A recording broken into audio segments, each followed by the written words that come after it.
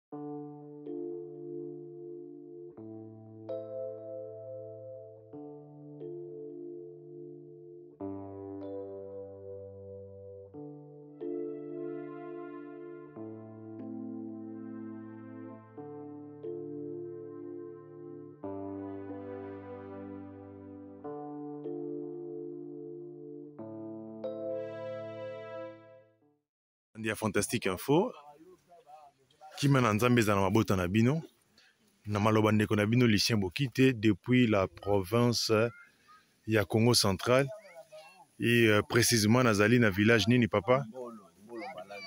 Naza na village Mbolo Mbalanzo. Eh, papa mbote na yo. Kombo hmm, nani? ah bande na kombo yango malembe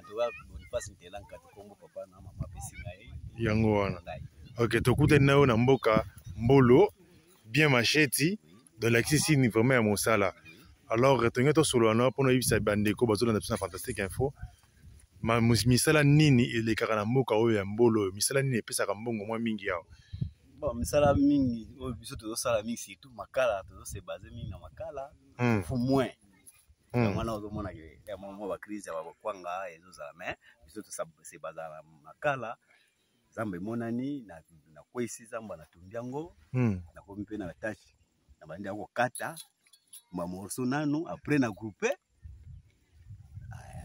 na classe na classe kolibulu wana titititi nazipi yango natie moto voilà wana makala alors mpo na nini bosali choix ya makala mingi ke bamanioko na baculture mosusu bon selon kaka selon départ ya motu oyo azovivre ntango hmm. amoni ke nga na travaille na maniok terre eza monene natukai comme ayebi ndenge bato basala maniok awa tuka koproduire maniok Mhm. Eh, ngai nde naza boye naza polyvalent soki mpena nalobi ke te nakosala bilanga seke nakolona tout oyo balonaka na bilanga hmm. eh, yebisa biso osali mbula boni deja obandi mosala oyo non en tout cas mosala oyo ezali ya mbotama malgré tokekeke babisika mosusu me neti wapi okenda deja neti wapi nakenda mpe tikapa na kasai occidental na hmm. eh, mission na nga na ndenge na nga ntina hmm. yaki père aza na zamba vraiment awa na nsanda hmm. nde souvent nayaka mingi na nsanda hmm. eh. ah, na sanda kote mama marte ya kimbi avanga kuna oui mais na direction sanda mais madima mao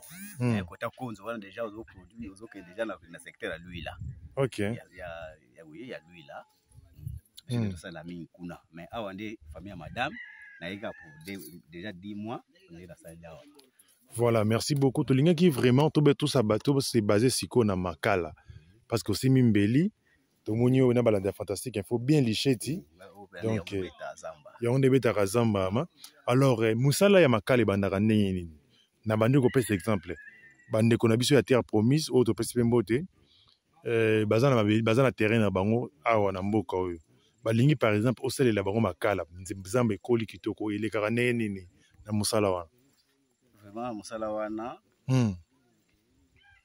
terrain ndenge olobi terrain emonani hmm. terrain ndenge emonani wana bon soki nga moko naloki terrain na nga naza mpe na bandenge mais soki kolo terrain moto apesi terrain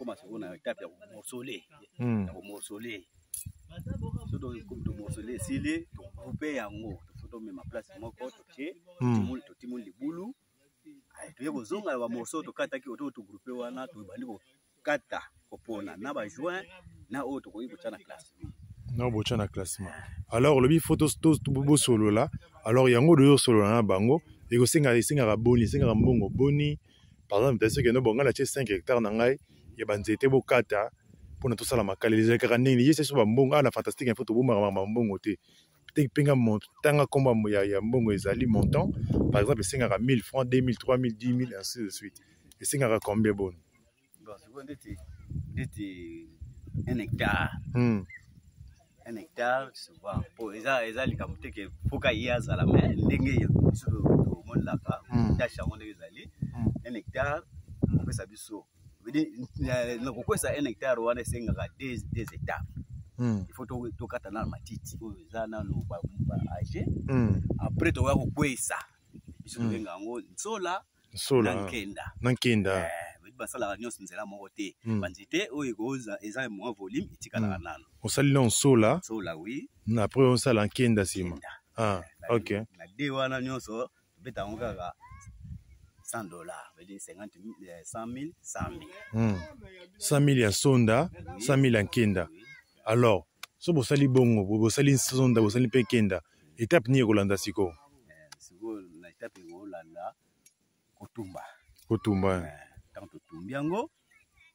kaka lelo oyo totumbi lobi mpe tobandi kokata na biso koni bandi kokata koni eh, selo moyen kaka oyo eza relation hmm. ezali oui tobandi kokata koni bon soki par exemple okutani na zamba moko eza vraiment na banzete ebele ya 1 hectare osali nsonda osali nkenda makala ekobima combien de sac ah oui non non 1 hectare eza deja etandi 1 hectare etandi parce que soki nzete eza nango ebele hmm. oza mpe 100 sac na yo na nini wana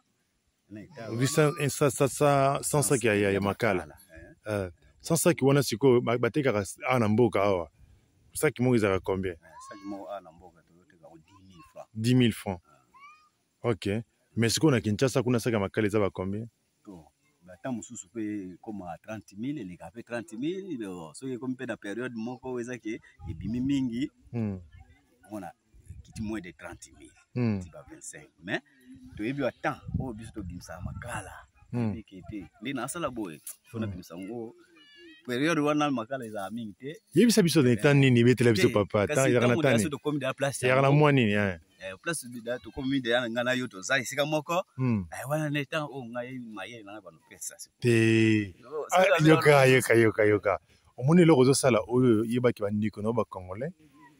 na ba congolais oyo bazoyoka langue na biso lingala tozosolola na yo yeba ke sosali eloko ya malamu okobénéficie kaka ikokanisa te ke non okoperdre kiyo te yebisa biso yaka na mwa nini na décembre nde ezalaka makala ezalaka cher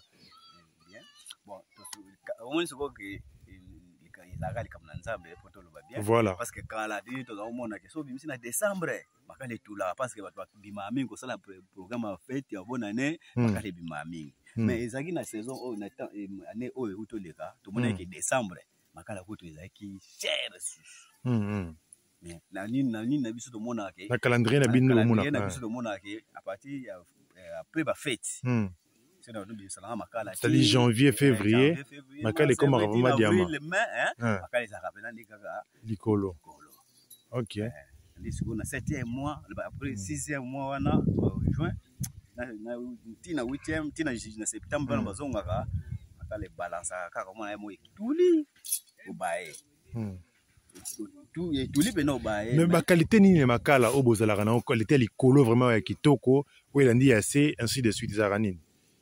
Eh, makala makala bon selon kaka place soki libulu eziki na yango bien ezongisi le retour te hmm, edépendant na banzete te non edépendant na banzete te edépendaka loba na retard oyo yo kosala yango ekati ti hmm.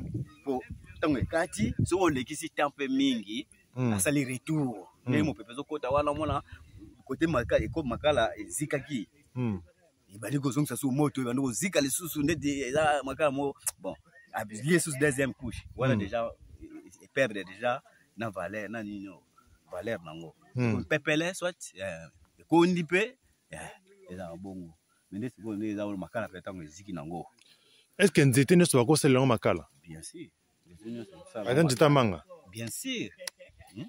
nzete nyonso biso osala yango makala balobi babiyama banzete esila bokoma tika pa bokoma kosalela nzete kaka ti ya ya, ya mbila makala ma, ma, ma parce que boza suna banzete te bino na congo central nzete mbila mpena te me banzete eloba ya mikie eh, eza mpena mikie bon eza crayon hmm. tokona yango ebimi ka milangi milangi eh, ah, ah. mikie mikie ya milai batige hmm. eh, nde sikoyo yango nde sikoyo tokoma kolandela mais soki terrain pene emonani pene kego te mais mpo na tosista na biso na yo est ce que soki moto azwi alobi ke non bon papa euh, ngai aza na terrain na ngai bon naza na mbongo te nakopesa mbongo ya ration naza na zamba na ngai tosala makambo ya bilanga yo osala yango mpe ah bon bosala bosala makambo ya makala jale de te na kosala na ngai soki toyokani na biso bien ye mpe ya comprendre ayebake ngai mpe na responsable hmm.